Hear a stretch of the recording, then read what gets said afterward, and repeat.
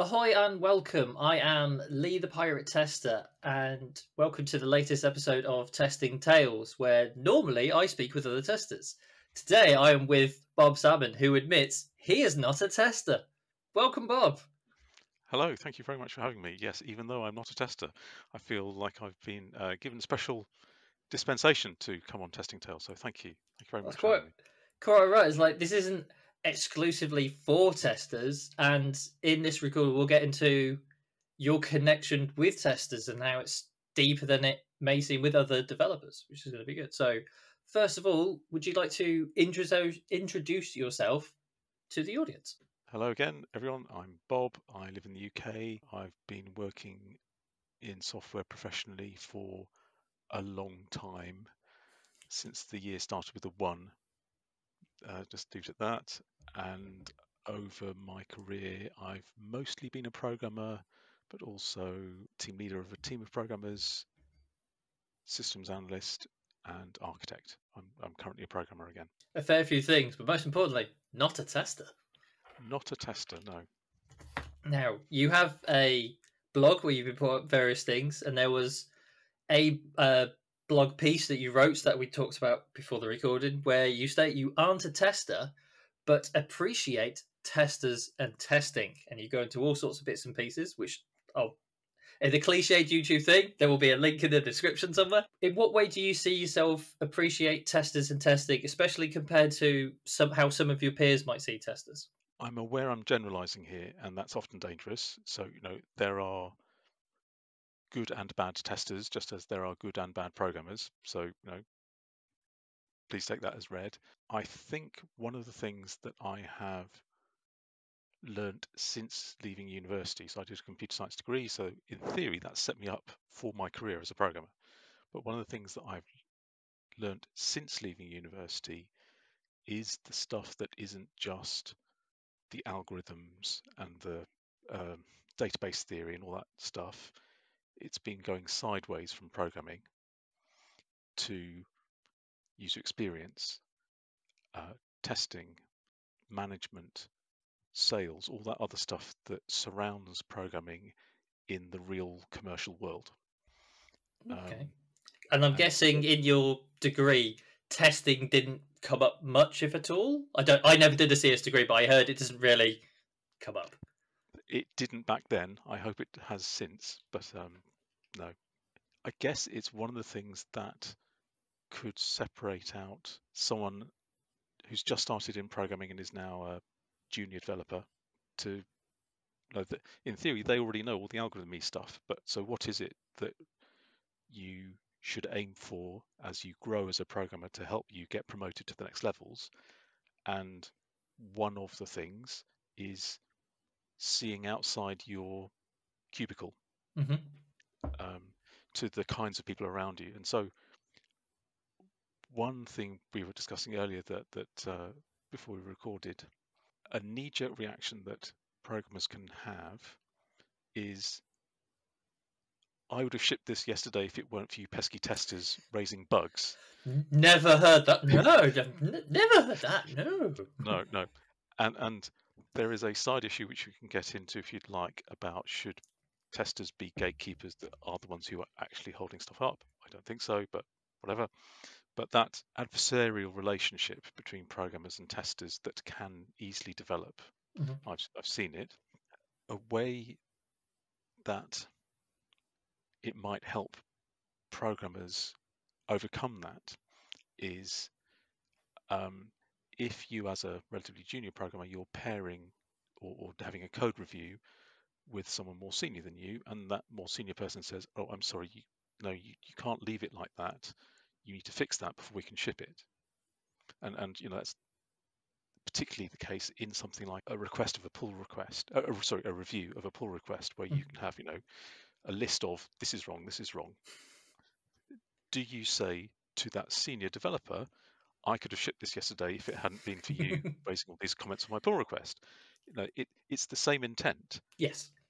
The software is in the state you've produced it. We could ship it like that, but it would be better if it didn't get shipped like that because of these reasons and those reasons can be found by someone you know with a job title you're aspiring to or by a tester.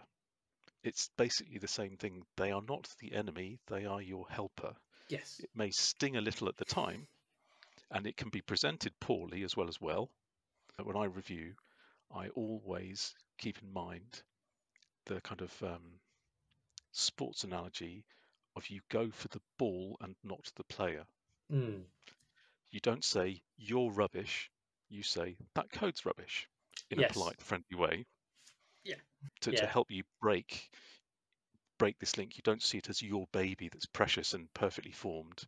Pointing out flaws in it is pointing out flaws in you. Yeah, it's having to distance the person from the product. I'm not attacking Yeah. your person, I'm attacking the thing you made. Because even great people can have a bad day. Oh, absolutely. And and you know, I'm so so grateful to. Oh yeah, stupid me, I forgot blah blah blah, or I that isn't consistent with that, or yeah, I just messed up. I have had the privilege of working with some decent testers in in my time, and they do their job better than I could do their job. But I imagine they feel the same way the other way around. Like people go, oh, like I write, I write some SQL, and people go, oh, have you ever wanted to be a developer? I'm like, they they can they can do the coding bit much better than me. I see it as a means to an end, but I can then test way better than they could. That's why we have different jobs. But I I think I think this touches on an important thing. So I I've had this long-standing interest in in quality and testing as a part, but not all of that. Um, but I've only relatively recently come to the testing community, things like Ministry of Testing. Mhm. I happened to be at college with James Thomas, Mhm. um, and uh, we uh, lost touch with each other and then reunited many years later on LinkedIn. And then he posted something about Ministry of Testing. So I found it less than five years ago, which is a small slice of my career. Yeah. In the testing community, like many communities, there is sometimes debate about names of things. um, I have a feeling I know what you're going to say. well, we shall see. So, manual testing versus automated testing. Um, uh, is automated testing testing or is it checking? yeah, that's where my mind was going. Uh, and then there's there's the kind of blurry bit in the middle of software development engineers in test SDETs. You can have automation in testing rather than necessarily full automation of tests, that kind of stuff. I think those debates are valid and important, but I think that it's sometimes easy to get hung up on the names Mhm. and lose sight of the issues behind the names that are actually probably the important thing. Yeah. So it's stuff like status. You know, testers do not have as much status as they should relative to programmers. Yeah. That's wrong. You know, a good tester isn't the same as a failed programmer. Yeah, even though I've sadly met several people who go with, I couldn't make it as a developer, I'll go be a tester. I'm like, it's not a fallback career. Exactly. It's like people who who say dentists are failed doctors. You know, does a disservice to both groups. Yeah. So there's the status question, and then the who has what skills, who has what interests, who has to do what at what point, uh, cost effectiveness. Now, all these are really important questions that are sometimes hidden, sometimes hidden behind the debate over names. Yeah. A cost-effective way of doing testing might be to do risk-based testing, having someone crank out loads of test cases in a big Excel spreadsheet and then it's slavishly followed. That is a manual tester, but they are being not much different from an automated test. In fact, they- it's kind of the worst of both worlds. And I've been there. I've been the person who had to write this stuff in Excel. Potentially because I had to write it to then pass to a contractor we had to then automate it. So I was doing very slow automation. It just hadn't been recorded. For them to then go, okay, do this. I I made it happen. Very painfully type out my and then pass it on. So yes, I've literally been in that situation. Oh, I'm sorry to hear that. one thing you mentioned is like you started finding out about the Ministry of Testing, the MOT community, and you haven't just consumed content from them; you've actually created it, haven't you? Um, yes, um, which was I don't know who was more surprised, me or the MOT community, that I, I did this. Um, very kind of uh, the MOT bigwigs uh, to allow me to run a workshop um, on technical writing.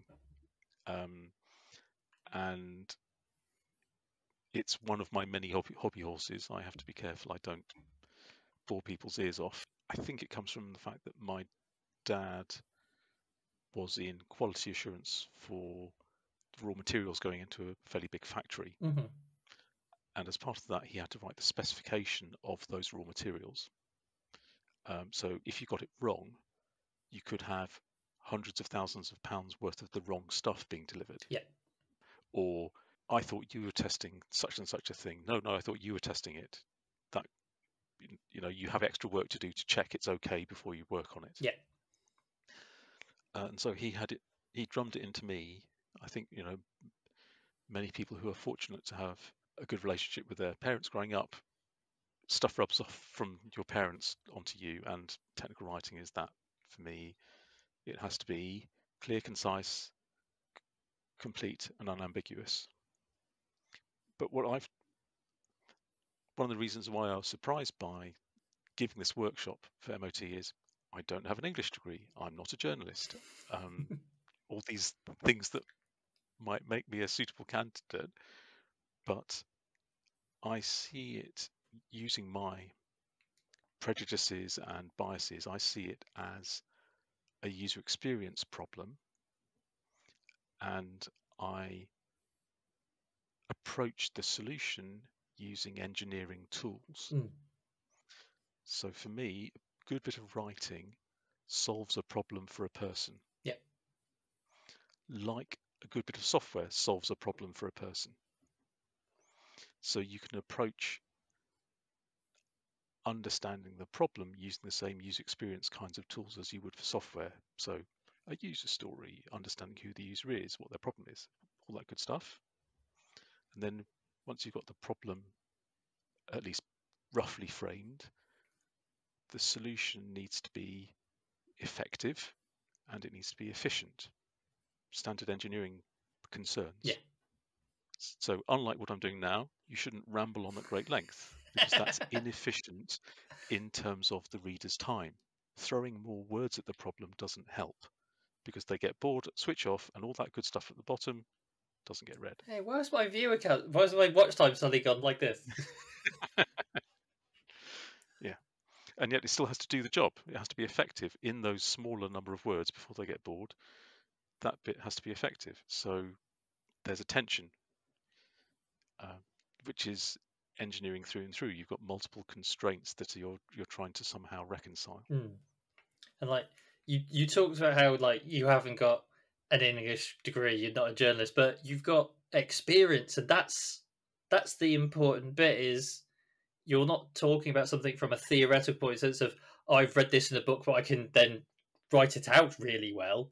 It is I've been doing this. Let me tell you how I've done it, what I've seen, what has and hasn't worked, and that's that's the key thing, and that's the nice thing about MOT is it what people who have done stuff. Like I don't have a CS degree. I've done workshops on SQL. This has been a very enjoyable conversation, and I hope that our watchers have enjoyed this. So, Bob, where can people find you? I'm on Twitter, uh, Bob Tech Thoughts, uh, and I blog uh, randomtechthoughts.blog. This has been Testing Tales. I am Lee the Pirate Tester, and I've been thankful to have Bob Salmon on today. So, if you have any thoughts on today's videos, please comment below. If you have questions for Bob, reach out to him on Twitter or via his blog. And look forward to seeing everyone again soon.